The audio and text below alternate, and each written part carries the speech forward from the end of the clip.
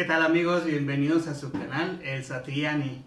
Hoy vamos a hacer una breve degustación, una cerveza local de aquí de, de Aguascalientes. Se llama Roja Imperial, eh, Irish Red Ale. Eh, esta cerveza siempre me ha llamado mucho la atención su diseño.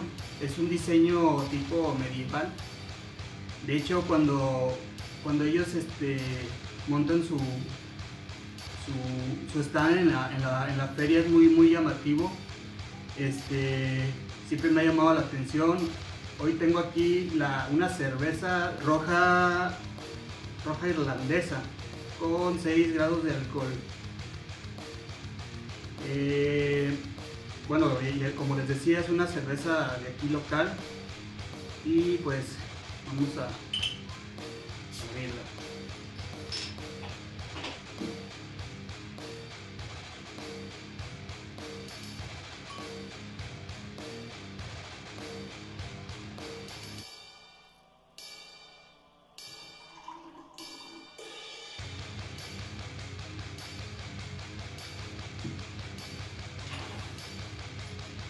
Bueno, pues una cerveza.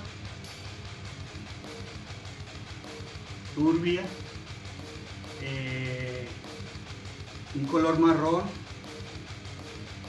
una, una espuma algo generosa, espesa, con buena retención, un aroma eh, tostado.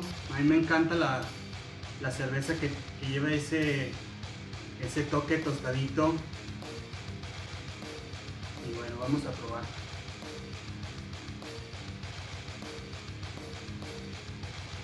Ah. Está muy muy buena, muy, muy refrescante.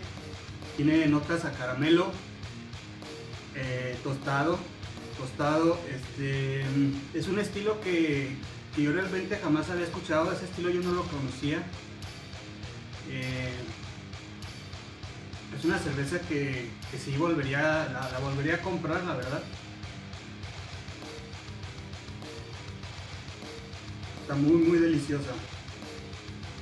Eh, yo la acompañaría con, con carnes o, o alguna tablita de quesos.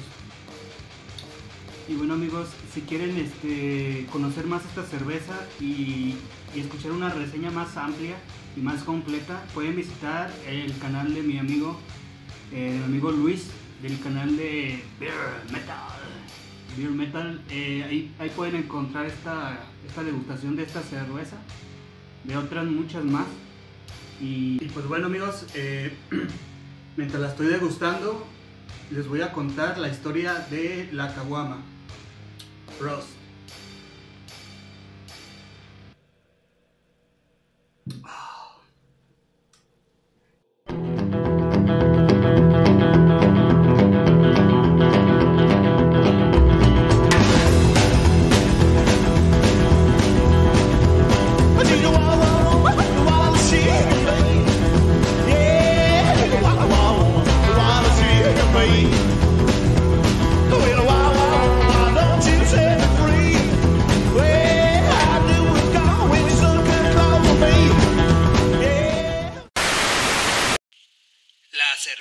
Considerada la bebida de los dioses en el mundo.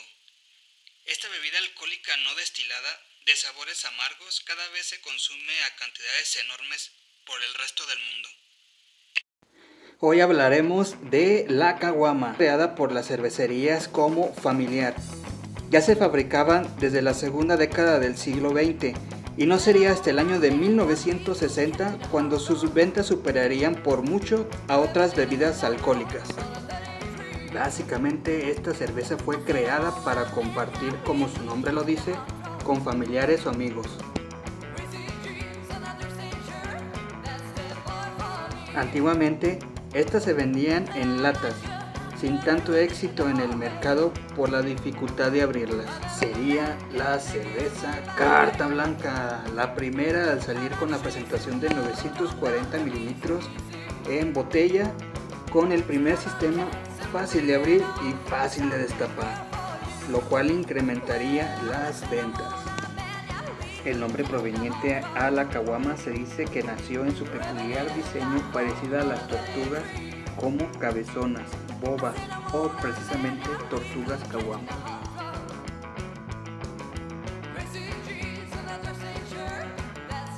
Dado que en el norte del país se consumía esta marca y ahí radica este tipo de especie de tortuga. Desde entonces es preferida por aquella gente de estatus media o de bajos recursos, por lo económica que es y por la practicidad de poderla llevar a donde quiera. A pesar de que en un tiempo se lanzara una medida publicitaria por parte de la cervecería para no denigrar la caguama, en un inicio solo se vendía en el norte del país y después por el resto de la República Mexicana. Al día de hoy, y hace algunos años, Carta Blanca lanza una presentación de 300 mililitros llamado Caguamita, pensada para consumo individual.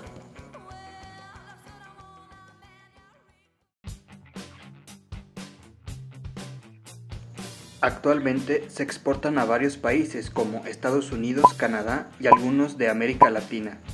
México actualmente produce 11.900 millones de litros de cerveza al año, Hoy en día es el preferido del consumidor mexicano. Se estima que 7 de cada 10 la consumen y se consumen en grandes cantidades.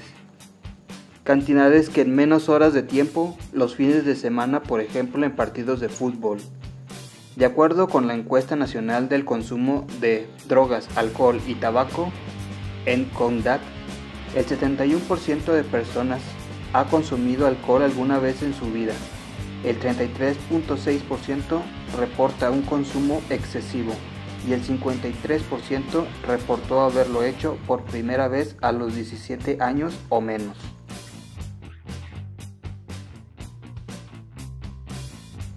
Existe no una mayoría, pero sí una gran cantidad de gente que no esté de acuerdo en la venta macro de la cerveza, ya que deja o quita ventas y entrada a aquellas cervezas artesanales que no genera tanto daño argumentando que la cerveza de calidad aporta mejoramiento de potencia sexual, disminución de problemas cardíacas o la probabilidad de no padecer diabetes.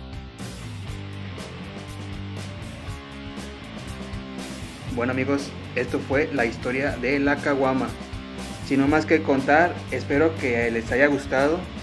Recomiendo su consumo en algún lugar seguro y como dijo alguna vez el máster Loague, la mejor cerveza es la que te estás tomando. Suscríbete a mi canal, dale like y comparte con tus amigos.